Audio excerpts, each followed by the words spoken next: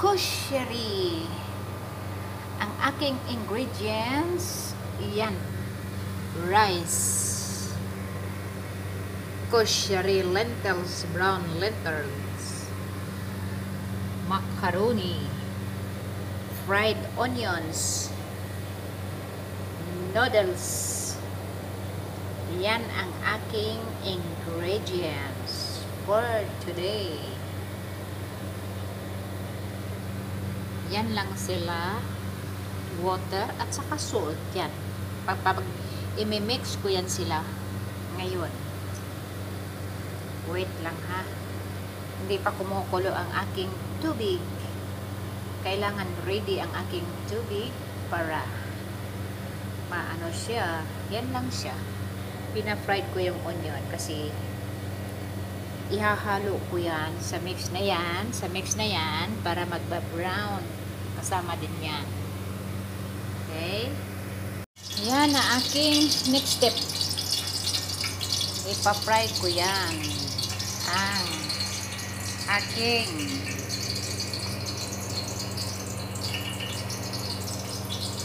yan.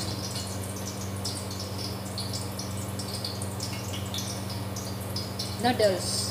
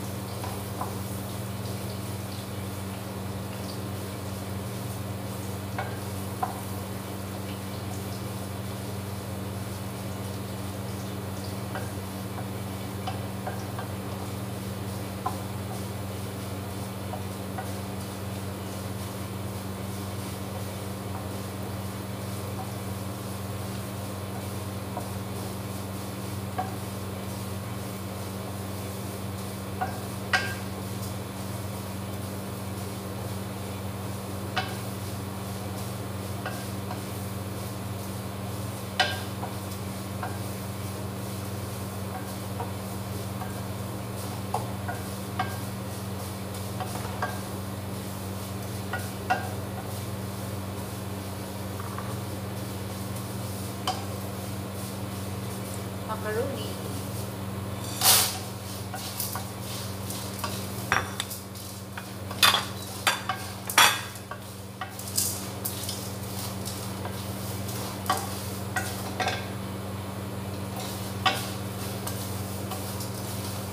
Rice.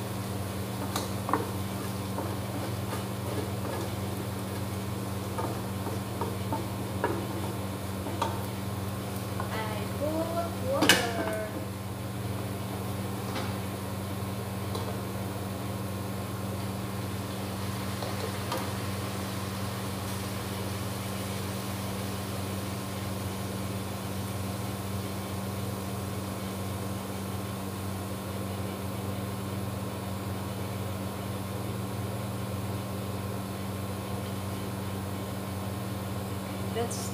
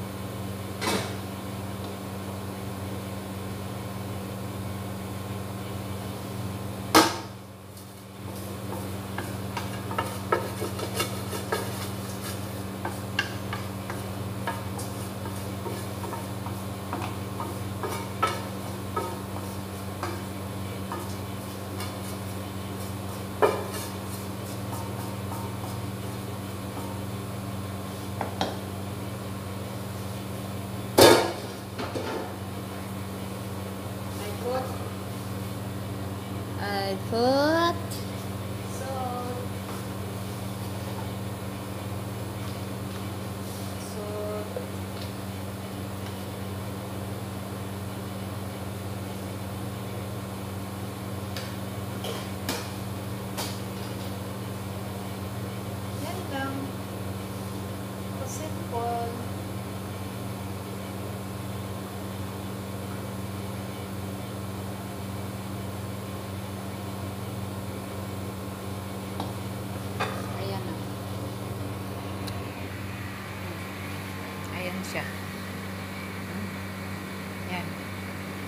Kumukulo siya.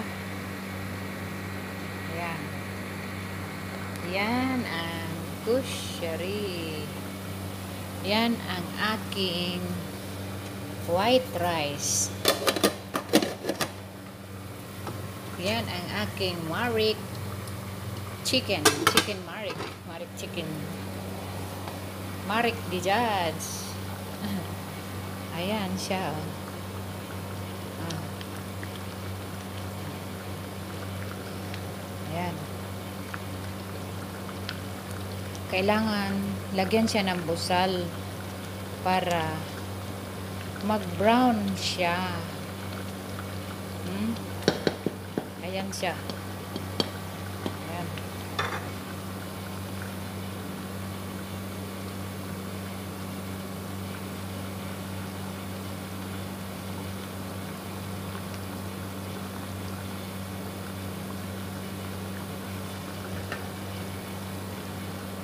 See? Tagal mag-excess ang mga water. Nadamihan ko lang ata ano. Ha? Ayan, oh. Hmm. Ayan siya. Ayan siya. Ayan. Ayan. Hmm? Yan. Yan ang aking kusyari na niluto ko kahapon pero hindi ko na videohan kasi yung amo ko ang nag nag ano ako ang nagmix. Siyang nag-instruction. Ngayon niluto ko na. Ako na talaga ang nagluto. Binidyo ko na lang para may remembrance may memorable moment ko dito sa Kuwait. Na malay mo maka-encounter din ako ng ibang ano. Okay.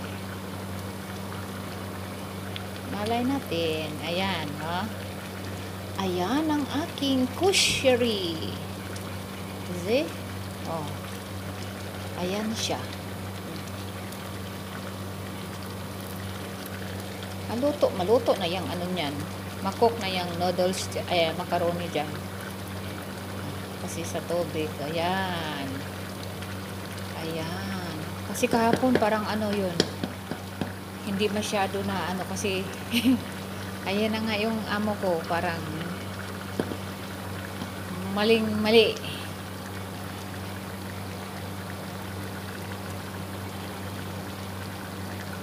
Ayan. Ayan siya. Kasimple ha ayan. Parang masarap to ang ngayon oh. Kasi nakaano talaga yung rice niya. Ayan oh. Oh. Ayay. Parang masarap ang lasa nito ah. Ayan no gawa kayo kung may lentils kayo, gamit kayo ng Egyptian rice. Kahit wala ng ulam.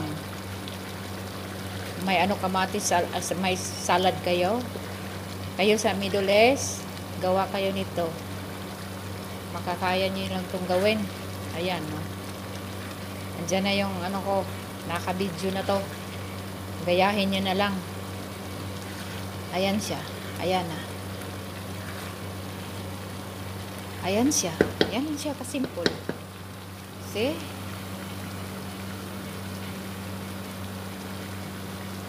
Ayan na.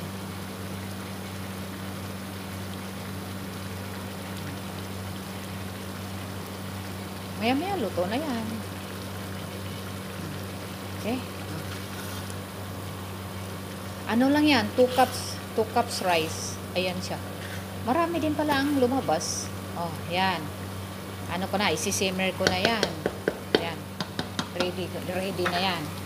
Thanks for watching my video. Sana magustuhan niyo yung recipe na yan.